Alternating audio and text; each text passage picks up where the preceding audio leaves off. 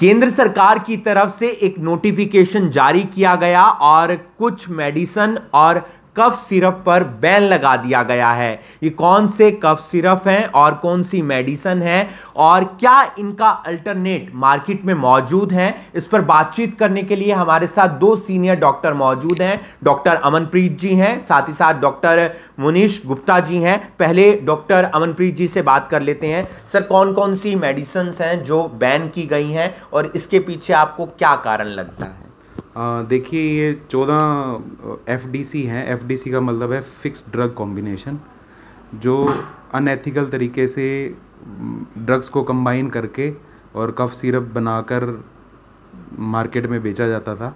ये बहुत अच्छा स्टेप है कि केंद्र सरकार ने ये कुछ फिक्स ड्रग कॉम्बिनेशन जो mainly upper respiratory tract infection में या खांसी में, जैसे कोडीन सिरप है और कुछ और इंग्रेडिएंट हैं जो जिनका मैन्युफैक्चरिंग के टाइम प्रॉपर तरीके से उस, उन कॉम्बिनेशन को तैयार नहीं किया जाता था। तो इसलिए सरकार ने इनको बैन किया गया है। तो पीछे अभी रिसेंटली फेबररी मार्च में अफेरिक अफ्रीकन कंट्री में गैम्बिया करके कंट्री है, जहाँ शुरुआत ये हुई कि वहाँ 66 बच्चों में एक्यूट रीनल फेलियर या किडनी फेलियर हुआ। तो जब सी डी सी जो अमेरिकन एजेंसी है उन्होंने अचानक छियासठ बच्चों की मौत के बाद आ, इसको इन्वेस्टिगेट किया तो उसका मेन कारण एक कफ सिरप पे जाकर उन्होंने सेंड अपनी जाँच को जाँच रिपोर्ट में एक कफ सिरप पाया गया जो सभी बच्चों को दिया गया था। तो वो भी बैन हुआ है? वो तो बैन था ही। हम्म। फिर आगे उन्होंने फर्दर इन्वेस्टिगेट किया।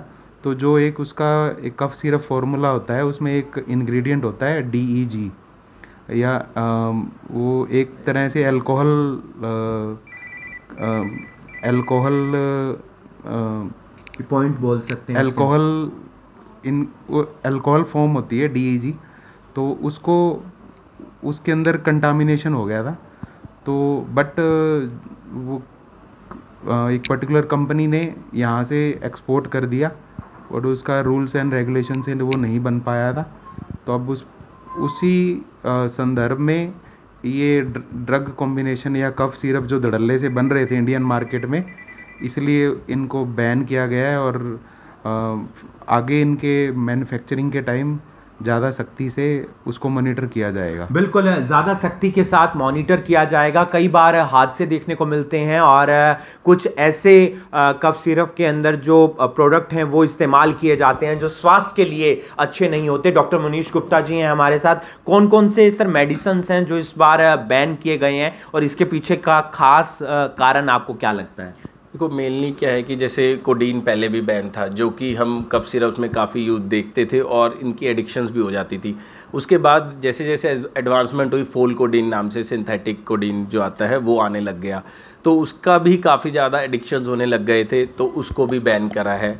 और कफ सिरप्स में क्या है कि जैसे रहता है कि जैसे पहले पैरासीटामोल की एक दर्द की गोली आई उसके बाद रिसर्चेज हुई ट्रामाडोल आ गई।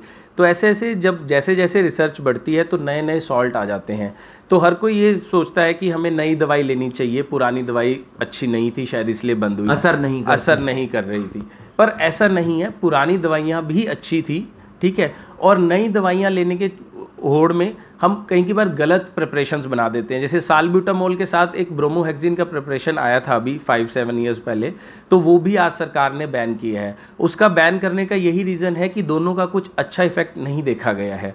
सालब्यूटामोल और सालब्यूटामोल थोड़ी सांस की दवाई है टैबलेट और इनहेलर दोनों फॉर्म में आती है। ब्रोमोहेक्जिन एक माइकोलिटिक है कफ सिरप की फॉर्म कफ सिरप्स के साथ आता है मतलब बलगम निकालता है।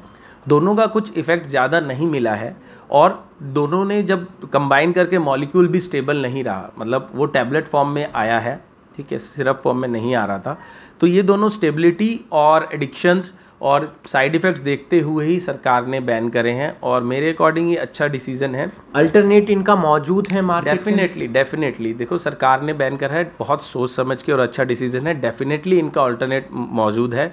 पेशेंट को या किसी भी नॉर्मल पब्लिक को टेंशन लेने वाली बात नहीं है कि अब कफ खांसी कैसे ठीक होगी या अपर रेस्पिरेटरी ट्रैक्ट इन्फेक्शन कैसे ठीक होंगे या खांस दर्द की गोली जैसे निमोस्लाइड है वो पहले भी बैन थी आज दोबारा उन्होंने प्रॉपर आर्टिकल के थ्रू बैन करी है। मोस्टली कौन सी बीमारियाँ हैं जिससे संबंधित जो दवाइयाँ हैं या कफ सिरप हैं उन्हें बैन किया गया है? देखो जो अपर रेस्पिरेटरी ट्रैक्ट इन्फेक्शंस हैं जो कि कॉमनली हो जाती हैं सोर थ्रोट के साथ हमें गले में दर्द या खांसी या जुकाम के साथ आती हैं उनके रिलेटेड जो मेनली दवाइयाँ हैं, वो उन पर बैन करके रिस्ट्रिक्शन लगाई है कि ये कॉम्बिनेशंस नहीं बिकेंगे। इंडिविजुअली और उससे अच्छी दवाइयाँ अवेलेबल हैं विद प्रिस्क्रिप्शन मिलनी चाहिए और हाँ ओवर द काउंटर तो स्पेशली बैन होनी चाहिए, इसीलिए ये आर्टिकल निकाला है प्रॉपर एक बहुत अच्छी जानकारी वो ये है कि आप डॉक्टर से सलाह लेकर ही दवाई लें। आप सीधा मेडिकल स्टोर पर जाकर ये ना कहें कि मुझे बुखार है गले में दर्द है या कोई और बीमारी है कोई वो गंभीर बीमारी भी हो सकती है। आप डॉक्टर के पास जाएँ चेकअप करवाएँ और उसी के बाद दवाई लें। बहुत सारी दवाइयाँ हैं जो मेडिसिन हैं, वो बैन की गई हैं। कफ सिरप हैं, वो बैन किए गए हैं क्योंकि उससे कई बार नुकसान देखने को मिला है शरीर का और तमाम जो डॉक्टर्स का एक पैनल था, उनसे हमने बातचीत की। Doctor Amanpreet ji doctor